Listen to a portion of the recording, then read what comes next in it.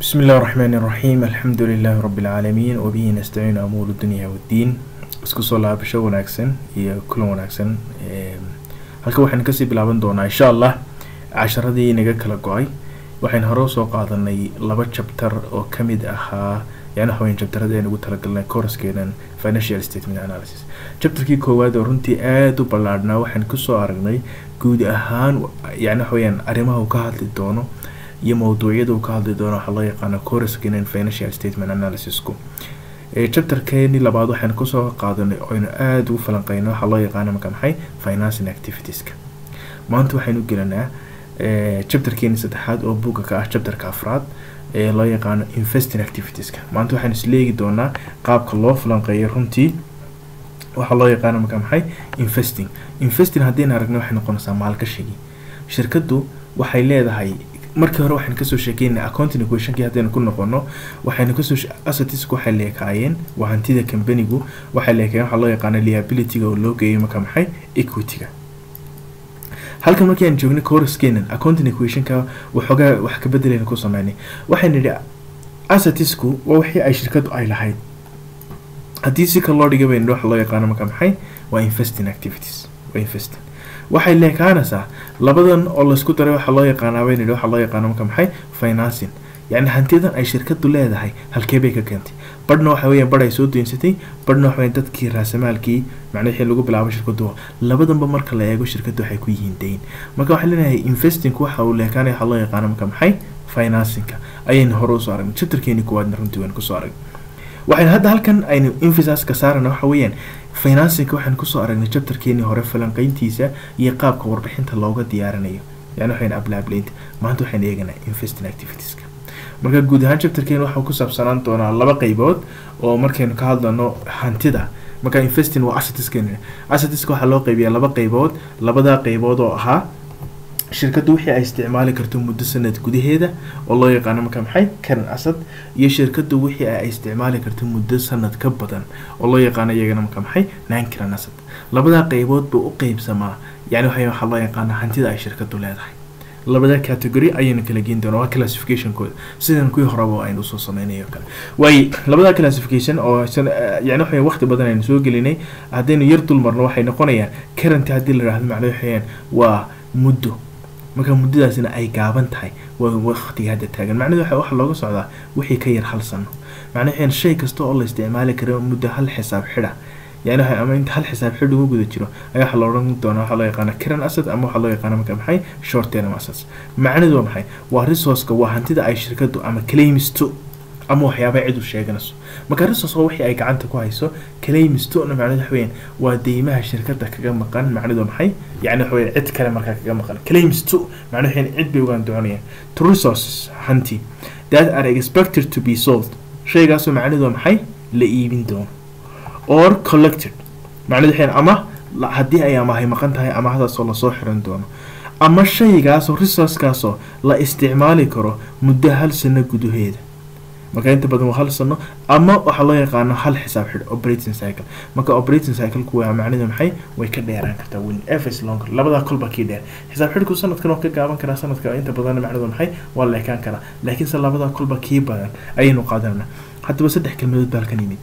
Waxaa la yidhi kow shayga expected to be sold. Shayga waa la iibin karaa. Waxaa loola jeedaa waa shayada la iibi sida infantry or collected macnaheed shaygaas waa la soo ururin karaa waa wixii amaah shirkada ka maqan. Amaahdaas waxay noqon kartaa waxa loo yaqaana markaa maxay true money market instrument ama waxay noqon kartaa receivables labadiiba macnaheedu maxay? Or used within ama shaygaasoo la isticmaalaya. Shayada la isticmaalayana waxaa tusaale wanaagsan inooga waxa loo yaqaana marka maxay? Supplieski markaa saddexdaa qaybood bay kala baxaan. Kow macnaheed inventoryga ku ugu jiro waa shay la iibin karo. Laba shay amaaha oo la soo ururin karo.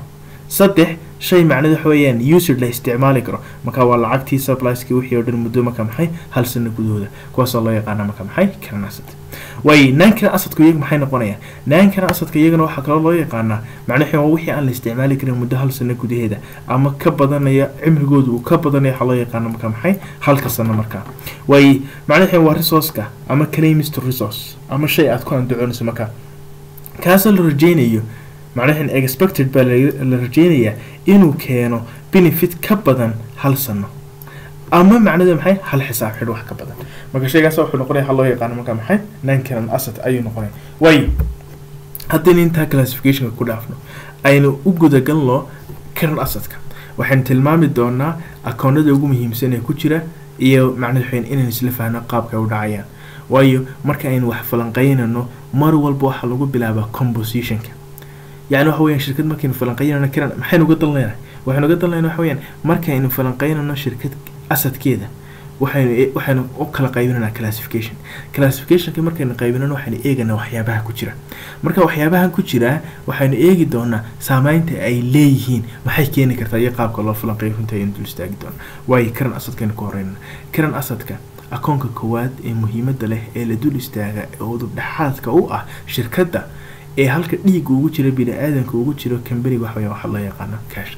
Waa lifeline. Way marka hadda halkan waxaa la israaciyey saddex laba qodob baa la israaciyey. Waxaa la israaciyey cash and cash equal way maxay kala yihiin? Labadaasna kala baraan. Muhiimadda ay ugu jiraan waxa weeyaan waa liquidity. Macnaheedu labadan waxay noo sheegaan cashka iyo cash valentigu waa liquidity. Shirkadu intee leeg bay dareero tahay macnahedu waxa weeyaan intee leeg bay milmi kartaa? macnahedu waxa intee leeg bay waxyaabaha la soo gudboonaada iska bixin kartaa? waayo shirkaddu waxyaabaha kharashaadka la soo gudboonaada iyo waxyaabaha kale laga sugayo haddii ay iska bixin kari weydo shirkadaas waa musalafasa oo illiquid bay noqonaysaa. iyadoo hanti haysataa ayaa hantidii mid aan sarifmayn bay noqonaysaa. laakiinse markay shirkaddu ay liquid tahay ay haysato lacag ama wax lacag u dhigma waxay noqonaysaa marka maxay? shirkaddu wixii ku soo gudboonaada bixin karta marka. awoodda u marka liquidity waxay noqonaysaa dareernimadaas way marka hore bal aynu isla garano cash iyo cash equivalent muhiimadda ay noo qabtaan oo markaas inu tegi doonaa. Way lacagtu maxay noqonaysaa? Kolley runtii aad baynu naqaanaa. Marka la yidhaha cash cashku waxayn accountiga markaynu joogno waxa waa lacag. Maxaa lacag noqonaya runtii aad bay u ballaarhanta haddii la yidhahdo money yacni sheega lacagtu aad bay u ballaarhanta laakiinse waxbaynu ka soo qaadanaa waayo waxa cash noqonaya waxa weeyaan currency lacagtii markaa macnidu maxay fiat maniga ahayd lacagtii waraaqa ahayd coins tii qadaadiicda ahayd ama lacagaha la dhigto bar xisaabeed iyo bank accounts. Waayo bank accountiskaas runtii way kala duwan yihiin markaa. Marka halkan waxa weya noocyo ka mid ah unbaa lainooga sheekeynaya. Ha ahaadaan bank accountiskaasi checking account xisaabaha socda ama ha ahaadaan xisaabaha wax lagu kaydiyo.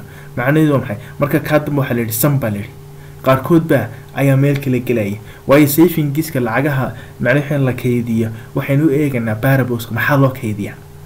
Marka haddii si guuduun ay u kaydisay shirkadu de macnada waxaynu ka dhiganaa cash. Laakiinse haddii for barabos tusaale ahaan oo kale inay shirkadu ay lacagtaas waxaa loo keydiyay inay shirkadu ay ku dhisto dhisme sanadka dambe way ka baxaysaa marka cash marka waxaynu geenaynaa waxa loo yaqaano marka maxay? Lacagtaas in maalgashi loo hayo. Marka runtii waxaynu eegaynaa lacagta akoonada loo dhigay saving accountiska sababta loogu dhigay marka maxay? Runtii markaa maxay? Marka intaas marka la isku geeyana odhan doona waxa loo yaqaana marka maxay? Cash. Runtii inta ugu badan waxa weeyaan currencyga waxa weeyaan lacagta caddaanka aad bay u badan tahay. Coinsku maanta waa iska yar yihiin marka aynu ka hadlayno waayo. Yacni lacag aad bay u badan inta badan ma sameyn. Laakiinse bangiyadoo kale macnadu maxay u dhici kartaa? Iyo bank accounts. Labadaas runtii marka maxay? Ayaa ugu badan. Cashku kaasuu noqonaya way. Waxaa loo yaqaano cash equal valenting muxuu noqonaya cash equal valentinga sidii magaca ka muuqata lacag ma aha laakiinse waa shay lacag u dhigma. Way haddaba maxaa lacag u dhigmaya? Waxaynu ka rabnaa labadan qodob baynu ka rabnaa. Way waxaa la yidhi cash equal valenting waxyaabaha la yidhaha horta kow waa short term baa la yidhi. Macnaha muddadoodu way yar tahay. Way qodobka labaad ee muhiimkiin waxa weeyaan highly liquid investments. Waa maalgashiyo macnahedu waxay si degdega lacag isugu bedeli kara highly liquid macnahedu maxay? Si aada u degdega ayay isugu bedeli kara waxaa loo yaqaano marka maxay? Lacag way that are? Labadan qodob baynu ka rabnaa marka. Readily comfortable. Yani waxay investmentskaas waxaa loo bedeli karaa si dhib yar loogu bedeli karaa waxaa loo yaqaana marka maxay? Lacag cayiman. Macnahedu waa la garanaya amountiga isku bedelayaan. Qodobka labaad close to maturity. Macnahedu waxay muddadoodu ama cimrigoodu uu gaaban yahay. Marka tan hore kumaynu sii faahfaahin. Qodobkan dambena wuxuu sheegaya waxaa loo yaqaana marka maxay? Short termka macnahedu close to maturity. Waa short term weeyaan macnahedu aada yar. Waayo aan not qodobka muhiimkiin waxa weeyaan aan sensitive ahayn aan isla badbedelayn isbeddelka ku yimaado waxaa loo yaqaano interest rateka. Waayo investmentsku waxay isla balaadelaan interest rateka. Marka interest rateka shayga haddii aanu sensitive ku ahayn macnahedu maxay? Haddii aanu aada iskula bedelayn shaygaas waxau noqonaya waxaa loo yaqaano marka maxay? Cash equal waayo marka maxay nihi casual valentinska waa shay aan lacag ahayn laakiin lacag u dhigma. Maxaa u shuruuda? Short term short inta badan laga hadlaya waa wixii ka hooseeya koob iyo sagaashan cisho ama saddex bilood. Wixii ka hooseeya ayaa wuxuu noqonaya waxa loo yaqaano marka maxay? Short term uga jeedna macnaheed waxweyn three months. Wax saddex bilood ka hooseeya marka way highly liquid. Waxweyn si deg deg isugu bedeli kara waxaa loo yaqaana marka maxay? Cash isugu bedeli kara marka. Cashkaasoo welibana waxa weeyaan nown la garanaya intuu qiimihiisu noqonaya qodobka labaad muddadiisu ay cimrigiisa ku soo dhoway macnaheed waxweyn muddada ka harsan cimrigiisu yaryahay ama short term yahay ama uu ka yaryahay koob iyo sagaashan cisho ama saddex bilood kolba sidii loo dhigo kaasoon isla badbedelin waxaa loo yaqaana marka maxay? Interest rate. Labadaa qodob shaygan ka helna ayaa xelin doona waxa waxaa loo yaqaana saddexdaa qodob runtii kow inuu short term noqdo highly liquid investment.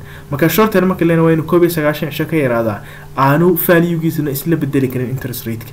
Qodobka labaad waa in liquid investmentkaas uu liquid noqdaa oo loo bedeli karaa cash goortii loo baahno xaddiga loo bedelayana marka maxay? Laisla garanaya runtii kaas wuxuu noqonaya waxaa loo yaqaana marka maxay? Cashable valent haddaba maxay inoo qabtaan waxaa loo yaqaana cash and cashable valent cash and cashable valentigu waxa weeyaan waa dhiiga uu ku soconayo waxaa loo yaqaana marka maxay waa dhiigga uu ku soconayo businessku. Halkii uu yani waxa weeyaan dhiig ugu jiray bini aadanka ayaa halkan waxaa ugu jira waxaa loo yaqaana marka maxay? Kambaniyadana waxaa ugu jira lacagta. Markastoo lacagta uu ku yaraado macnuhu waxa dee shirkadaasi ma caafimaad qabto.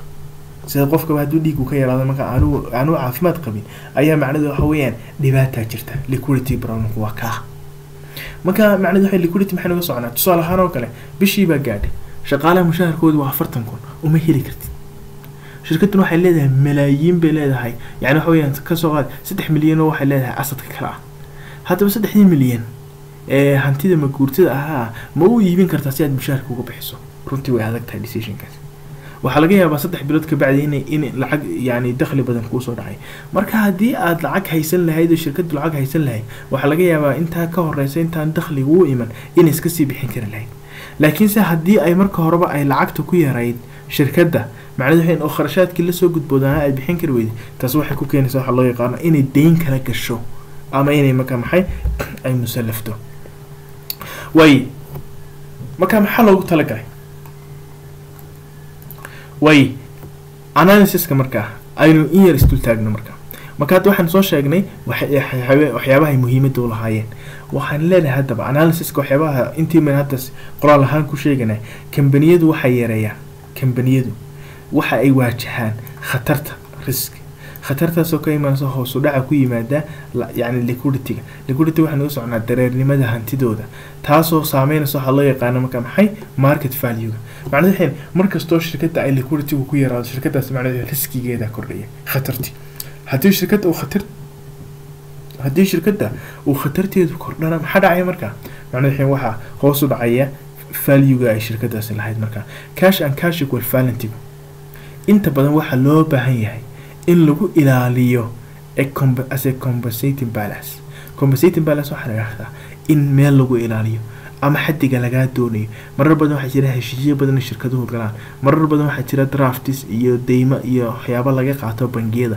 Marka bangiyadaas waxay ku odhanayaan ugu yaraan waa intaa haysata compensating balanceka kale waxay noqon kartaa siyaasad ka timaada shirkadda mararka qaar oo waxay odhanaysaa shirkaddu waa bal minimum cash requirement aan yeelan laakiin se kelmadan compensating waxaa loo isticmaalaa marka aad cid kale wax ka soo amahanayso sida bangi oo kale uu bangiga kugu xidho akoonkaaga intaa kama hoos dhici karayo. Waayo maxaa loo isticmaalayaa markaa compensating balanceka? Waxaa loo isticmaalayaa inay taageerto barrowing arrangementska. Yani waxa contragyada ama howlaha deymaha lagu soo qaadanayo ama inay u noqoto damaanad u noqoto for indebtedness dayn aad gelisa markaa markaa balance waxa la bangi baad lacag ka amahatay wuxuu ku yihi boqolkaa aad amahaysay ugu yaraan akoonkaaga ku jiraan markaa maxay? Toban kun. Balance macnaheed waxay bangiga isaga laftiisa waxa ku yareeya khatarta. Marka mar kasta oo kambaniyadu ay soo waajahdo in liquidity-gu ka yaraado ama ay yani waxa weyaan kambaniyadu halka ay ku dhacaan waxay keenaysaa in investment value-goodu hoos u dhaco marka ama market value-goodu haddaba si aanu market value-gaas uga dhicin waxaa muhiima in shirkadda la falanqeeyo waxaa loo yaqaano lacagtan ay haysataa ee kaashka ah ma ku filan yahay howl maalmeedkeeda.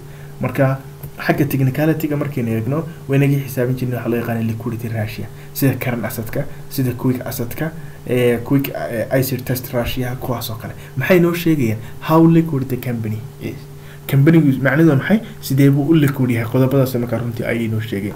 Halkan waxaa lainoogu sheegay waxaa la yidhi cash and cash equal valent waxyaabaha lacagta iyo kuwa lacagta oo dhigma intay ka yihiin asadka guud ay ka yihiin marka. Bal shirkadahan way ku kala duwayn. Shirkadda waxaa la yidhi dal waxay more than twenty yani waxa weeyaan twenty one twenty one percent ayay waxa weeyaan lacag.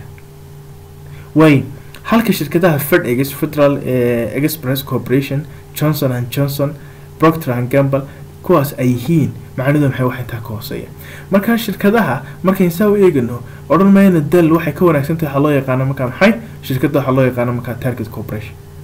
Laakiinse maxay nooga soconaa waxay nooga soconaa waxa saameynaya industriga marde marka markaynu saameynano waa inagii isbarbar dhigi jirnay kambanigu sanadadii hore siduu ahaa macnuu waxayn isla isagu mayn isku eegani. Waxaa loo yaqaana trend analysis marna waxaan sameynayna comparative analysis baynu sameynayno waxaynu barbar dhigaynaa shirkadaha kale lamidka ah. Ayaynu marka maxay oo sida industry averagekeen soo qaadeen. Marka qodobkaasina waa qodob marka maxay aynu hoosta ka taxdiiran. Way halkaan ku soo dhaafna cashka akoonka labaad ee muhiimadiisa le inoogu xiga karaan asadka marka la joogaa waxaa loo yaqaana marka maxay receive baliska receive balisk waa waxay wixii amaah ka maqan shirkadda runtii amaahdaas waxay ku maqan tahay laba meelood oo muhiima hal shay oo saddexaad baa soo raaca. Amaahda kuwaad waxay ku maqan tahay waxaa loo yaqaano oral promise bay ku maqan taho dadku ay dhahdaan waanu kuu keenanaa akoonkaan kuugu soo shubanaa iyo sida la halka maasha. Taasoo kale waxaa loo yaqaanaa account receivable talabaadna waxa weyaan mid ballan rasmiya la kala qortay oo muddadeedu ay yani waxa weyaan ayna gaabnaan karto ayna dheeraan karto. Macnahedu waxa weyan sanadna ay ka yaraan karto sanadna ay ka badan karto laakiin formal document la qoro inta badan uu la socdo taana waxaa loo yaqaana note. Qodobka saddexaad ee labadaas soo raaci kara waxa weeyaan waxaa loo yaqaana receivables oo waa amaahaha ku maqan ama waa deymaha ku maqan cidka aydaan wada ganacsanayn u fiirso cid aan runta badan inta badan ganacsi aan ka dhexayn ama macnaheed aan alaab kaa iibsan ayaa inta badan dhacda. Tusaalahaan oo kale shaqaalahaagii ayaad u sii qadintay mushaarkii advanceska siinaysaa waa receivables waxaa kaloo ka mid a company kale ayaa wuxuu kaasii amaahday waxa loo yani waxa lacag badan ma haysa. Sablayerkaagii baad lacag u sii qadintay waxay inkastoo sablayerka uu soo gelayay laakiinse laftiisa waa receivable macnaheedu maxay? Waa lacag laga sugayo marka. Marka waxyaabahaas oo dhan inoo doona receivablesku marka macnaheedu waa hadiyada aad ka sugayso others cid kale. Otherskaas macnaheedu ama wadadooda ganacsanaysaan ama cid kale. Kuwaasoo ka imanaya balo fiirso. Kuwaasoo ka imanaya from the sale of goods. Ama qof aad alaab ka ama adeeg aad u qabatay ama lacag aad amahaysa saddex kalkaas soo gelaya haddii inta badan ay tahay goods or service macnaheedu waa account receivable iyo note receivable. Laakiin lacag amahinta tooska ah waxay noqon kartaa note receivable ama waxay noqon kartaa waxa loo yaqaano marka maxay? Ad receivable. Labada account ee ugu badan halkan aan ku arki doono waxa waa account receivable ki waxa loo yaqaano marka maxay? Note-ka. Maxay ku kala duwan? In yar aan dul istaagin account receivable marka hore waxa weeyaan oral promise. Waa balan aan qornayn oo afka laga galo macnaheed lacagta akoonbaan kuusoo shubayaa waa kuusoo dirayaa macnaheed receivtkayso dir markaasaan soo dirayaa lacagta macnaheed taasoo sheegaysa indebtiness from customers. Macnaheed lacagtaasoo lagu yeeshay markaa maxay customer. Marka kan qodobka koowaad ee characteristicskiisa kow waa oral promise laba waxaa la siiyaa customerska saddex waa short term. Short termkiisuna welibana uu ka yaryahay inta badan the first majority waxaa loo yaqaana afar bilood boqol iyo labaatan esh iyo wixii ka yar mararka qaar way dhici kartaa ilaa inay gaadhaan boqol iyo sideetan cisho lix bilood. Laakiinse kaa waxaa la siiyaa macmiil aada hubto. Waayo waxaa xagga dambeyn ka arki doonaay. Mar kasta ood sii dheerayso oo lacagta in badan kaa maqnaanayso waxaa badanaysa khatarta. Khatartaasoo ah in la lacagtan lagu soo celin waxa loo yaqaana bardabtiska waayo qolooyinka labaad waxay noqonayaan iyaguna waxa weeyaan waa formal document. Note receivable waxay noqonaysaa document rasmiya la kala sixinaya heshiis baa la kala sixinaya. Ballantaasoo ah in macnaheedu waxay from others kii hore waxaa lidoo fiirsada from customer. Macnaheedu waxa weeyaan macmiilkuma la siiya account receivable laakiin note receivableka macnaheedu waxay qof caadi oo lacag kaa amaahday ama macmiilkaaga ha noqdo ama cid kale ha noqotay ayaad markaa maxay? Ayaad siinaysaa marka. Waayo kana characteristicskeeda maxaa ka mid ah note receivableka kow waa formal document. Laba waa short termna waa noqon karaa long termna waa noqon karaa. Marka short term note receivable iyo long term note receivable buu noqonaya qodobka saddexaad waxa weeyaan inta badan wuxuu ka badan yahay boqol iyo labaatan cisho iyo wixii ka badan ayaa marka maxay ayaa aada loogu isticmaalaa. Qodobka afraad interest baa la socda marka kuwaasna waxay noqonayaan marka maxay characteristicska marka. Waayo sidee loo qiimeeyaa? Tii hore haddii ahayd maxay ahaayeen ay ku saabsan yihiin? Receivables waxaa lagu qiimeeyaa conceptiga loo yaqaano marka maxay net realizable value. Net realizable value macnidu waa maxay? Waa inta la xaqiiqsan karo. Halkan waxaa ku jirta marka amaahda marka la bixiyo deynta marka la bixiyo ee macmiisha ama dadka la siiyo macnidu waxa weeyaan marka la eego from the practice aad bay u adag tahay inay soo wada xirooto amaahda la bixiyay. Haddii maanta aad bixiso toban kun oo doolar oo amaaha oo aad macmiishaada siiso it is unlikely inay soo wada xirato tobankii kun. Marka maxaa la odhanayaa? War toban kun baynu amaah bixinay sanadkan ama bishan tobankaa kun waxaynu rajeynaynaa inaanay shan boqol soo xiron imsaa soo xironaya sagaal kun iyo shan boqol net waxay kuu sheegaysaa labadaa shay la soo kala gooyay. Kelmadda net waxay noo sheegaysaa marka macnidu maxay? Imsa la xaqiiqsanaya. Tobankii kun waxaynu xaqiiqsanaynaa sagaal kun iyo shan boqol. Sagaalkaa kun iyo shantaa boqolba waxay noqonaya waxaa loo yaqaana marka maxay? Net realizable. Waxay noqonaya waxaa loo yaqaana marka maxay? Net realizable value. Way marka net realizable value waxa weeyaan waa total amount of receivables waa xaddiga guud waa tobankii kun oo laga jaray allowance for uncollectible. inta la qiyaasay marka maxay inaan la soo xiranayn marka managementigu inta badan waxay qiyaasaan intaan soo xiranayn iyagoo ku saleynaya experience-kooda macnaha waay aragnimada a u leeyihiin markay macmiisha wax amahayaan sanadadii hore looga qiyaas qaadanaya waxaa kaloo ka mid ah fortunes. yani waxayan macmiishii iyo xaaladoodii waxaa kaloo ka mid ah dhaqaalaha iyo industry exploitationka yani mararka qaar dhaqaaluhu wuxuu ku xumaan karaa macnahin industry sectorka. Waxaa kaloo saameynaya waxaa loo yaqaana marka maxay? Collection policyga. Dhammaantood waxay saameyn toosa ku leeyihiin inta soo xiranayso marka marka haddii la dhaho receive baseka maxaa lagu qiimeeyay waayo madhow markaad shirkadda qiimeynaysa analysis ku sameynayso waxa muhiim ah oo aad sheegaysaa qaabkii shirkaddan u qiimeyso waxa loo yaqaano marka maxay? Receive baskeeda inay ka duwan tahay the best practice iyo standardka inay ka duwan tahay iyo inaanay marka maxay? Aanay runtii aanay ka duwaneyn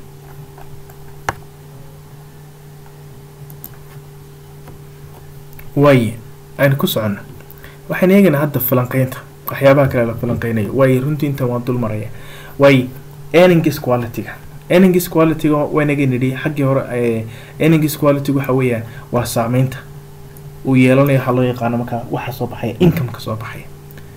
Marka u fiirsada earnings quality waxa weeyaan net income-ka soo baxay miyuu yahay rasmi.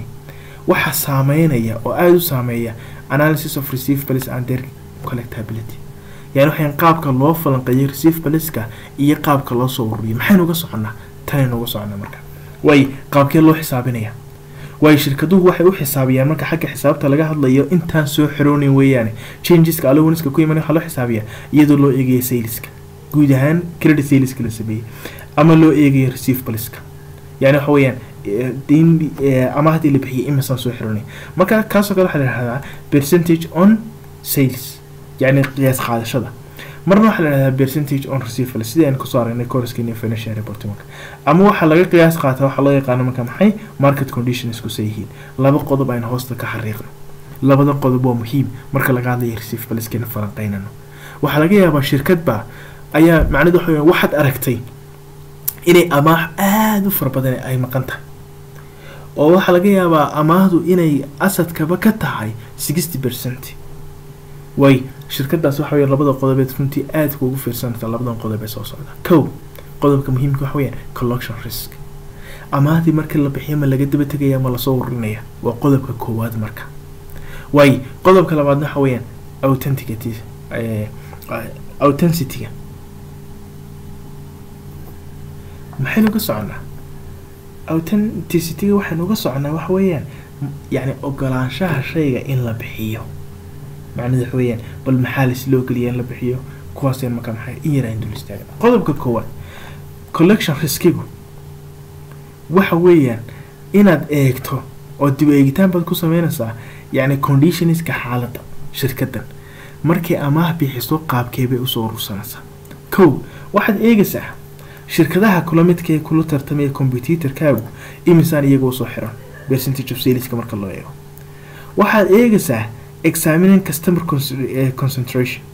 Amaahda la bixiyey ma macmiil keliyunbaa wixiiba la wada siiyey mise way baahsantay halkan maxaa ku jira? Qodobka halkan ku jira waxa weeyaan mar kastoo amaahda lagu badiyo koox ama qof aad ku badiso dee khatartaa badanaysa waayo qofkaas hadduu meesha ka baxa macnadu waxayaan waxa uu la baxayaa markaa maxay? Lacag hanti fara badan ayaa kaa khasaaraysa laakiinse haddii aad baahiso ood macmiil aada u fara badan aad ku leedahay dee macmiishaasi waxa weyaan qaar ka mid a haddii ay khasaaraan dee wax yar baad ku lahayd. Marka waxaad eegaysaa concentrationka. Macnadu waxa weyaan haddii tusaale ahaan oo kale aad bay u kala duwan yihiin oo runtii macnadu waxa weyaan khatartoodu way kala yar tahay. Haddii aad toban macmiil wax ku leedahay iyo haddaad boqol macmiil wax ku leedahay tobanka macmiil markaad waxa ku leedahay hal macmiiloo kaa baxaa macnidu waa maxay? Waxa u dhigmaa toban macmiiloo xaaladda kale marka taas maxay sheegaysaa? Haddii hal macmiil waxaad amaahaysa iyo toban macmiil waxaad amaahaysa ay isku dhigmaan macnuu waxay khatar badan baa ku jira. Waayo tobanka macmiil haddii laba macmiil ay kacaan saameyn badan kuguma yeelan laakiin halkaa macmiil ee tobanka u dhigma haddii uu kaco macnidu waa maxay? Khasaaro badan baa shirkadii markaa soo gelaya marka waxaan eegaynaa war amaahda ka maqan shirkadu ma meel keliyun bay ku jirtaa mise macmiil? Labadoodba khatartooda aada badan waxyaabaha kale maarasa waxaa ka mid ah yani waxa weeyaan waxaa loo yaqaano marka maxay? Pattern of receivable macnaheedu waxa weeyaan ageka wax marka laga hadlayo waxa weeyaan intee leeg bay taagnaayeen. Amaahda shirkadda ka maqan ma offerdu offerdu waxaa yidhahdaa wixii waktigooda dhaafa. Waxaa kaloo eegaysaa for how long intee leeg bay taagnaanayaan markaad amaah bixiso. Waayo amaahaynta badan waxaa la doonaya inay concentrationkoodu noqdaan wixii soddon cisho ka yar ama wixii lixdan ka yar si macnaheedu waxay lacagtu cash flowgaagu uu macnaheedu waxay kor ay u kacdo. Marka ageka waxa weeyaan intee leeg bay taagnaanaysaa? Waayo qofkii xilligii macmiilka aada u qabatay haddii uu soo bixin waayo ama qaar dhaafay ma jiraan. For any reason ay u dhaafayaan marka ma dhowbaad eegaysaa waa qodobada kale. Labada markaa laga tagan how long? Guud ahaan intee leeg bay taagnaanayaan oo waxyaabaa la doonaya marka. Waxaa kaloo ka mid ah qodobadan falanqeynana collection riskiga soo gelaya inaad qeexdo qeybta receivables-ka macnadu waxay taasoo renewal of period receivables ee dib loo cusboonaysiinaya macmiil markii hore lagu lahaa amaahba amaah kale la sii saaraya. Way hadduu tii horeba bixin kara lacaayo tu kale la sii dul saaray runtii ka warrama. Waa qodobada marka maxay? Aadka ugu baahan in la eego marka. Waxaa kaloo la eegayaa adequance for of macnaha in shirkadu me ma u diyaarisay collectionka. Marka laga hadlayo waxaa loo yaqaana discountka discountka waxay naga soconaa discountkuna halkan ugu jira waxaweyaan waa aniga mid baa loo yaqaanaa cash discount. Waxaad ku dhiirigelinaysaa inuu macmiilkaaga uu hore u soo bixiyo lacagta amaadi kaasoo kale macnadood maxay? Maxaa ka yaalla siyaasadda gantaalamaka maxay runtii waxay noqonaysa waaye waxaa kaloo noqonaya return alaabta la soo celinayo aan other credit iyo waxyaabaha kale macnahedu waxa weyaan qof baa intuu yidhi alaabtii waan kuusoo celiyayba weli alaabtiina haya alaabtii macnahedu waxa weyaan maad soo ururin maad soo qaadan ama isagii kuma soo celin. Marka adigana macnahedu waxa weyaan weli alaabtaasi iyadoo uu macmiilkii iska saaray oo uu samaysto waxaa loo yaqaano markaa memorandum ayaa haddana macnadaxayn markaa qaabkaad u soo qaadinaysay marka iyagana waa inay taalla marka marka qodobada iyo runtii qodobo kale oo dhan ayaa u baahan in la dul istaago marka la falanqeynayo waxaa loo yaqaano markaa maxay collection riskiga soo ururinta khatarta ka imanaysa receivables xagga authenticity-ga wax kale maahan macnada waxa weyaan waa ogolaanshaha in la bixiyo marka. Kow qodobka koowaad waxa weyaan credit policy. Siyaasadda bixinta. Yaa la siinayaa goorma la siinayaa intee leeg ba la siinayaa credit terms maxay noqonayaan waxna qodaasoo kale ay ka hadlaysaa return policies waxa weeyaan alaabta. Maxaa loo soo celin karaa? See loo soo celin karaa qodobadee lagu soo celin karaa iyadana markaa ma la bedelaya ma lacagti baa la celinayaa siyaasadda soo celinta alaabta. Qodobka saddexaad waxa weeyaan any contingence contingence waxaa la yidhahdaa in ku talagal aada samaysato. Contingenceskaasi maxay nagu talagalnay macnahedu waxa weeyaan maxaa iman kara? Maxaa ka iman kara khasaare? Iyagana macnadu maxay in ku sii tira kala kuwaasna waxay waxay noqonayaan oo ay la xiriirayaan waxaa loo yaqaano marka maxay? Authenticity-ga marka qodobadaasna waa qodobo runtii u baahan marka maxay? In la dul istaago marka la falanqeynayo waxaa loo yaqaano marka maxay? Receivables-ka sectionkiina waxaanu ku soo gabagabaynaynaa waxaa loo yaqaano securitization of receivable maxaynu uga soconaa securitization. Securitization waxa weeyaan waa factoring waa iibinta. La iibinayo qeyb ka mid a receivables-ka marka securitizationka ama factoringka waxaa la yihahdaa goorma la sameeyaa. Factoringka waxaa la sameeyaa marka ay shirkadu u baahan tahay lacag tusaale kale lacag fara badan oo amaaha kaaga maqan macmiishaadi. Macmiilkiina raqabada intaa soo qabato keen odhan maysid waayo etigaskii macmiilkuu noqon maayo duu kaa tegaya meel marka wax amaahayso ka sugtuu tegaya haddaba si aad one one solution noqoto ood macmiilkiina u haysato oo aad waqtigiisa u sugto adigana lacag la'aane aanay kugu dhicin oo macnihi dalabkeenu kaaga dib dhicin. Receive baliskaaga waxaad ka iibinaysaa third party cid saddexaad. Inta badan waxaa jira finance houses yacni qolooyin loogu talagala ama waxaa jira waxa loo yaqaana marka maxay? Ee bangiyada. Bangiyadaas iibsanaya taas waxaa loo yaqaana factoring. Marka factoringku waxa waa marka uu company iibinayo all dhammaan ama qeyb ka mid a receive baliskiisa uu ka iibinayo marka maxay? Cid saddexaad.